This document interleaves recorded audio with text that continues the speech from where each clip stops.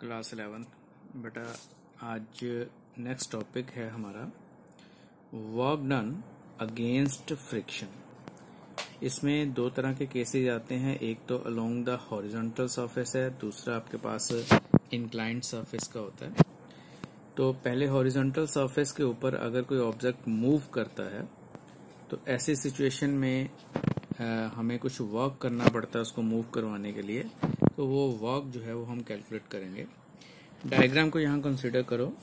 आपके पास एक ऑब्जेक्ट है, जिसका मास एम के बराबर है और उसका वेट जो है वो that is equal to M G और वेट हमेशा डाउनवर्ड रहता है इस हॉरिजॉन्टल सरफेस के ऊपर। और इसी एम जी के ऊपर perpendicular to the surface normal reaction होगा। हमने फोर्स अप्लाई की।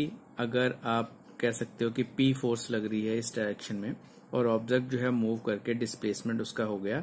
एस वो यहाँ से, इस पोजीशन से, इस पोजीशन तक मूव करके चला गया।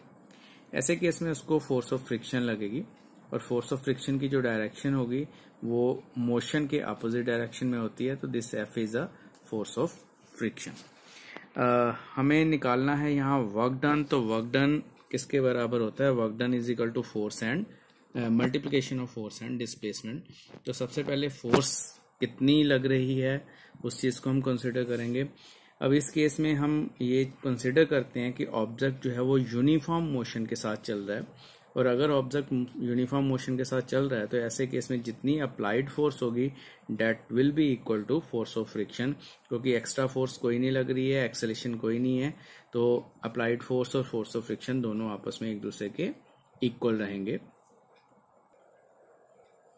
तो फोर्स ऑफ़ फ्रिक्शन किसके बराबर होती है? Force of friction is equal to mu R हमने लॉज ऑफ़ लिमिटिंग फ्रिक्शन में पढ़ा था, पर यहाँ पर म्यू के लिखा हुआ है। म्यू के का मतलब कॉप्शेंट ऑफ़ फ्रिक्शन कनेटिक के लिए है। ये आपके पास लिमिटिंग फ्रिक्शन का कॉफिशेंट नहीं होगा कनेटिक फ्रिक्शन का कॉफिशेंट रहेगा यहाँ पे।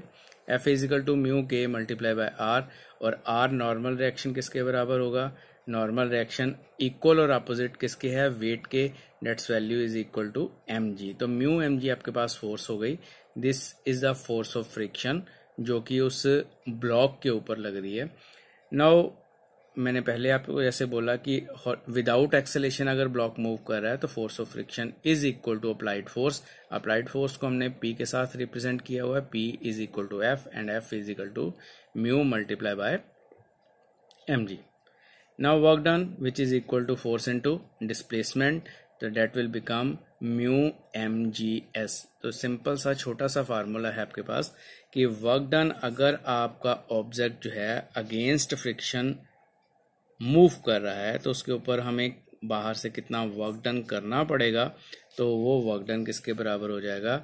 Mu M G S S is a displacement G is acceleration due to gravity M is the mass of the object and mu is the coefficient of kinetic friction ये तो हमारे पास case हो गया अगर object horizontal surface के ऊपर चल रहा है।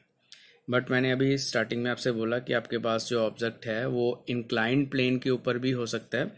तो इंक्लाइंड प्लेन में कंडीशन थोड़ी सी डिफरेंट हो जाती है।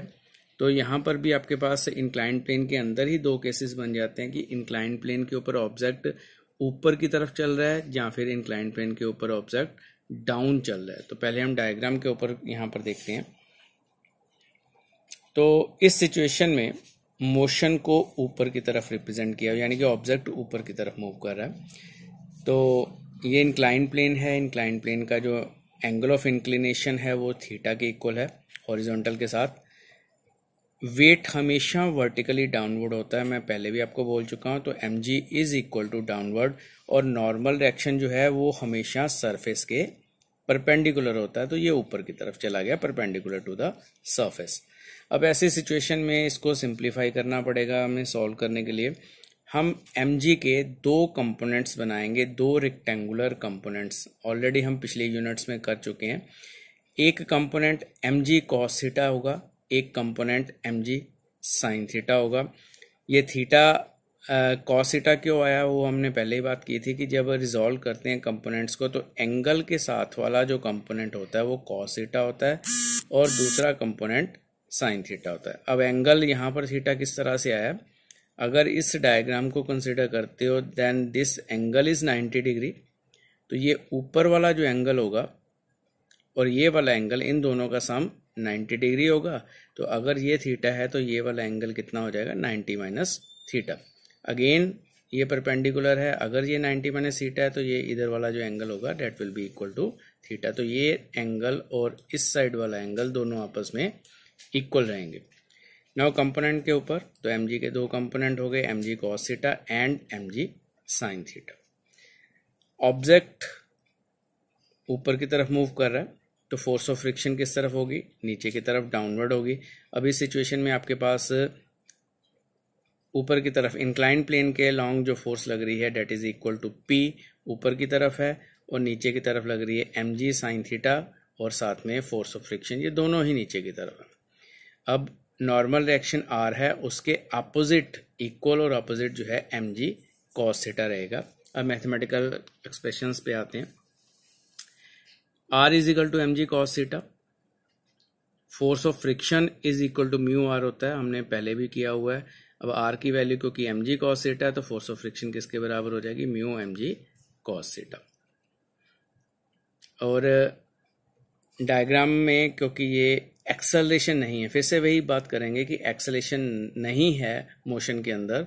तो P किसके बराबर होगा अपवर्ड डायरेक्शन में जो फोर्स होगी और डाउनवर्ड डायरेक्शन में जो फोर्सेस हैं दो, ये दो आपस में इक्वल और अपोजिट रहेंगी। So P is equal to M G sine theta plus force of friction P is equal to M G sine theta plus force of friction और फोर्स ऑफ़ फ्रिक्शन हम ऑलरेडी कर चुके हैं ऊपर which is equal to mu M G cos theta M G common निकल सकता है दोनों केसेस में से दोनों टर्म्स में से तो एम जी कॉमन निकाला sine theta plus mu cos theta this is the value of force but हमने तो निकालना वर्क डन है तो वर्क डन किसके बराबर होगा? फोर्स इनटू डिस्प्लेसमेंट तो हम एस के साथ इसको मल्टीप्लाई कर देंगे. This is the value of work done when object move upward तो अपवर्ड होगा तो M G sine theta plus mu cos theta multiply by S अब दूसरा केस हम कंसिडर करते हैं. अगर डाउनवर्ड मूव कर रहा है ऑब्जेक्ट इंक्लाइन प्लेन के ऊपर.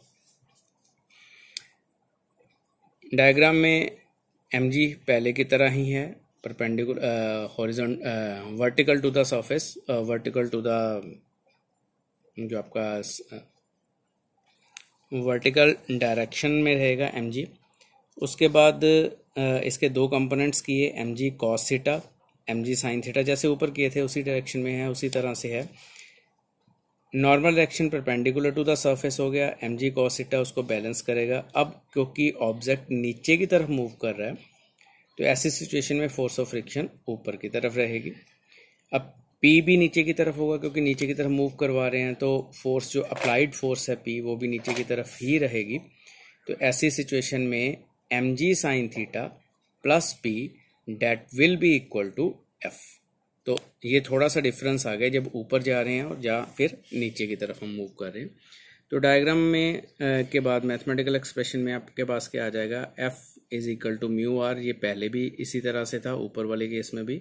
म्यू एम जी कॉसिटा यहाँ पर भी mu m g cos theta same value है। But now P is equal to F minus m g इसको दूसरी फॉर्म में करोगे तो एम जी साइन थीटा अगर इस तरफ़ लेके आते हो तो P plus m g sine theta is equal to F, मैंने आपको बोला था कि ये नीचे वाली दोनों फोर्सेस ऊपर वाली फोर्स के बराबर है। But here m g sine theta को इक्वेशन को आप इक्वलिटी साइन के दूसरी तरफ़ लेके जा रहे हो। So it will become P is equal to F minus m g sine theta. F की वैल्यू पुट करो एम जी पहले की तरह कॉमन निकालो तो mu cos theta minus sine theta रहेगा। और वर्क डन किसके बराबर हो जाएगा? Work done is equal to force multiply by displacement तो m g mu cos theta minus sine theta साथ में क्या आ जाएगा? एस अब डिफरेंस क्या है दोनों में? अगर ऑब्जेक्ट नीचे की तरफ़ मूव कर रहा है तो mu cos theta minus sine theta है, और अगर ऊपर की तरफ़ जा रहा है तो mu cos theta plus sine theta है। तो यहाँ पर प्लस का साइन है, यहाँ पर माइनस का साइन लगेगा। डेट इज़ द डिफरेंस कि अगर ऑब्जेक्ट ऊपर की तरफ़ जा रहा है या फिर नीचे की तरफ़ जा रहा है। तो this is for the work done अगर ऑब्जेक्ट जो है वो मूव कर रहा है इंक्लाइन प्लेन के ऊपर आइधर ऊपर की तरफ़ या फिर नीचे की तरफ़, इससे पहले हमने किया हॉरिजॉन्टल डायरेक्शन में तो ये तीनों आपने केसेस करने हैं। अब इन्हीं चीज़ें इन्हीं जो आपके पास जो रिजल्ट्स हैं, इनको यूज़ करके हमने जो है कुछ न्यूमेरिकल्स करने हैं, वो अपने नेक्स्ट क्लास में करेंगे। तो इतना आपने अपनी कॉपी के ऊपर पहले नोट करना है बेटा